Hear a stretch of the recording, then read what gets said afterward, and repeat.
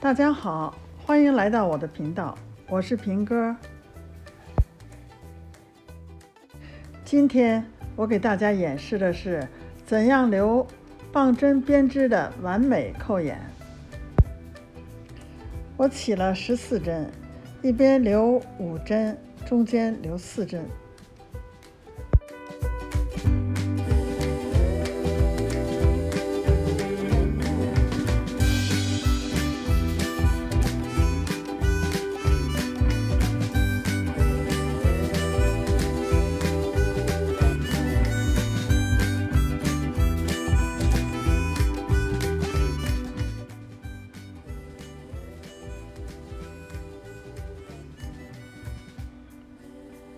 现在开始用右手边的这个针拨左手这边移过来的这一针，等于是收针。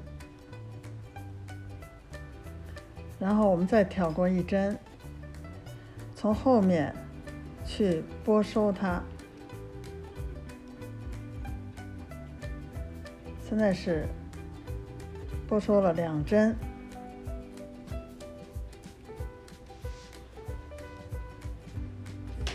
我们再从左棒针挑过一针，再从后面拨收，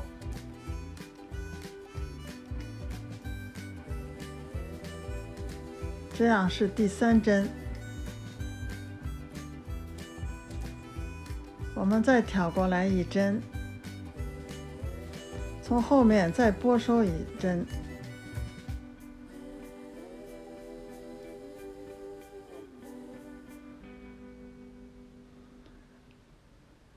这样就完成了第四针。我们把右棒针上的一针放在左棒针上，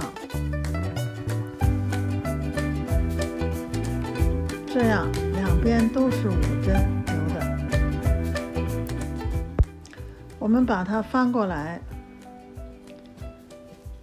现在我们开始加针。我们从左棒针第一针空隙后面加出一针，就与我们以前视频里边的起针法就是这样起。我们现在加针也是这样加。现在加了两针了，我们一共要加五针。现在加第三针，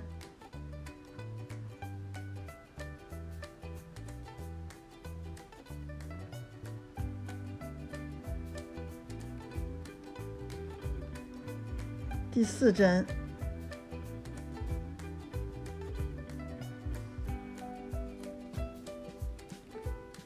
第五针。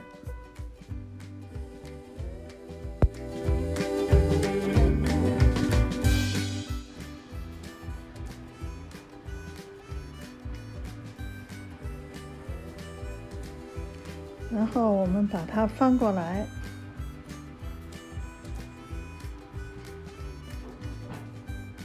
整理利索。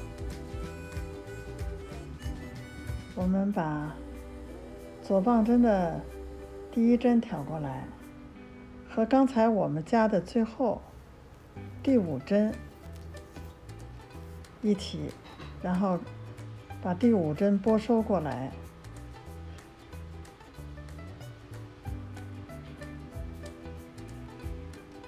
拨收过来，然后呢，这个边呢就特别整齐了，也美观了。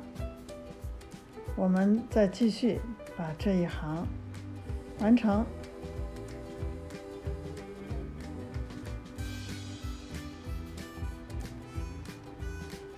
就这样，这个扣眼就已经。做好了，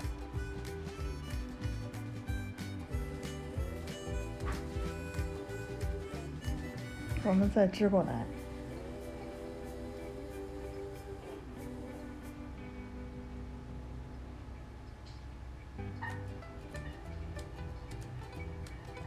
大家看，又美丽又大方的棒针扣眼就已经完成了，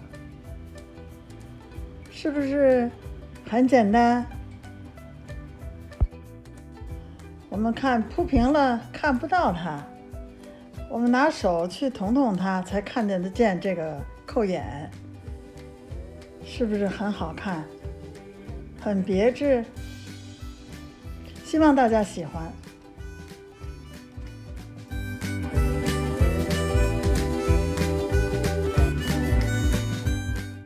下面我们再演示一个新的方法，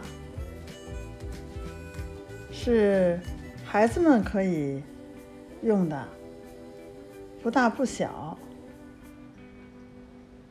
也是非常简单。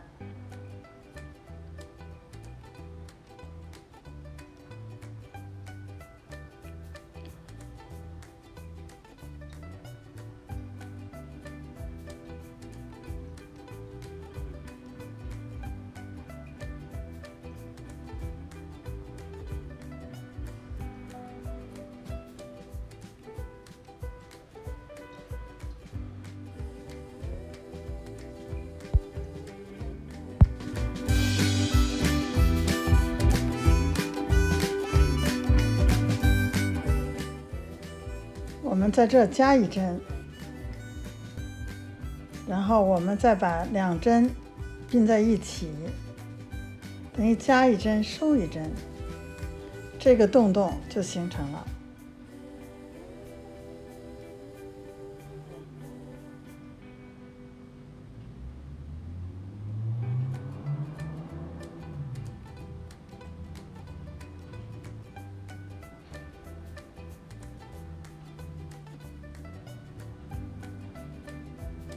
非常简单，这个洞洞不大不小，孩子们使这个纽扣的大小正合适。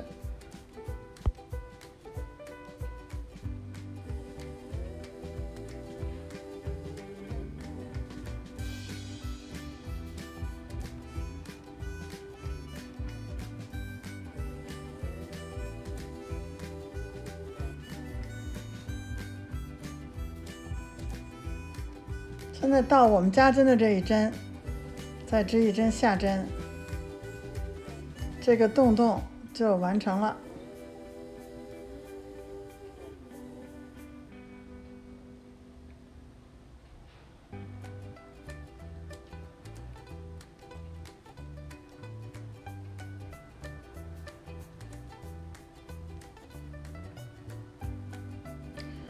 孩子们使正合适。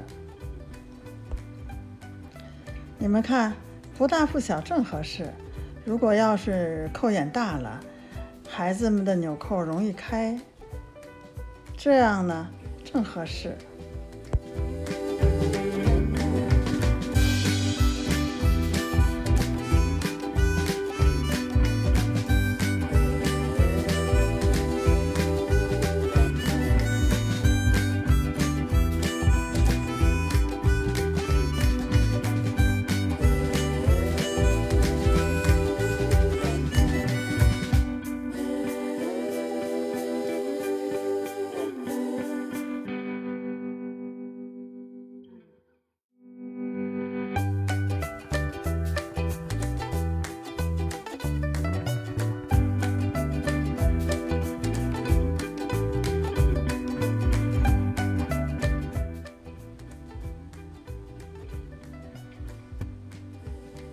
大家看，我们的今天教的第二个方法，是不是也很简单，而且很实用？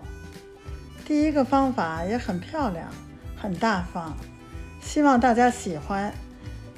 今天的视频我们就到这里，谢谢大家，也也希望大家订阅点赞。好，谢谢大家收看，我们下集再见。